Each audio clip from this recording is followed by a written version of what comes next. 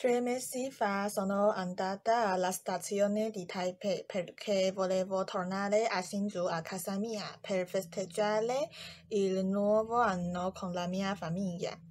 Quando sono arrivata al binario, mi sono accorta che il treno ad alta velocità era in ritardo perché c'era della spazzatura sulla ferrovia. Il binario era pieno di gente. Tutte le persone che stavano aspettando erano molto agitate. Ho telefonato a casa per dire che avrei fatto tardi. Mi sentivo molto agitata anch'io perché sono una persona ansiosa e volevo tornare subito a casa per stare con la mia famiglia.